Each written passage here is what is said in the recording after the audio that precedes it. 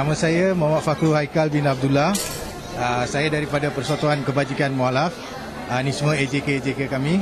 Uh, pertama sekali kami ingin uh, bersyukur kepada Allah uh, sebab kerana mengizinkan kami berada di sini dan kami juga ingin berterima kasih kepada NGO Resolute Khalif yang baru ditubuhkan uh, supaya menjemput kami. Uh, kami juga ingin berterima kasih kepada Tan Sri Syaril bin Abdul Samad Uh, pada hari ini kita ada seramai 110 orang saudara baru. Uh, Alhamdulillah. Ada yang baru dan ada juga yang lamalah warga emas. Okey, Persatuan uh, Kebajikan Mualaf ni kita kami tubuhkan uh, tahun 2011 iaitu dah 3 tahun.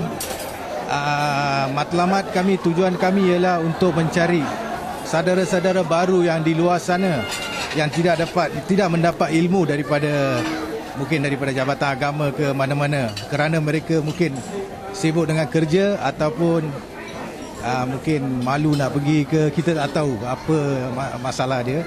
Jadi kami tubuhkan ini supaya membantu mereka.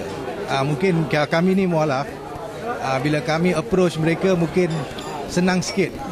Uh, dia tak malu. Uh, contoh kalau ustaz-ustaz yang pergi approach uh, dia takut. Alamak ustaz datang ni kenapa ni? Kan? Ada dia takut. Uh, jadi kami pergi approach dia kan insyaallah mudah. Kita nak ajak dia mendekati dan ajak dia datang ke kelas.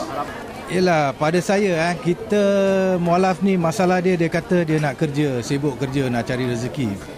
Uh, saya pun begitu juga. Masa awal-awal dulu saya memeluk agama Islam. Uh, saya pun rasa sibuk dengan kerja.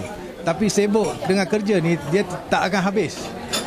Tapi kita kena cari uh, Allah eh. Uh, cari masa nak cari uh, apa apa hidayah daripada Allah dan kita kena cari ilmu Allah.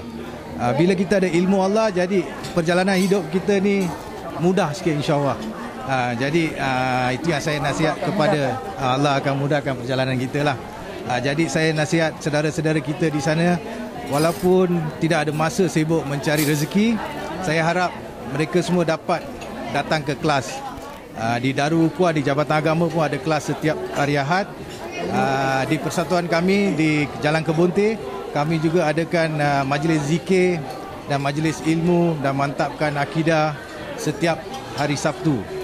Jadi untuk saudara-saudara baru di luar sana uh, mereka boleh datang bersama-sama kita lah mencari ilmu. Kita sama-sama belajar. Kita semua pun kurang ilmu. Uh,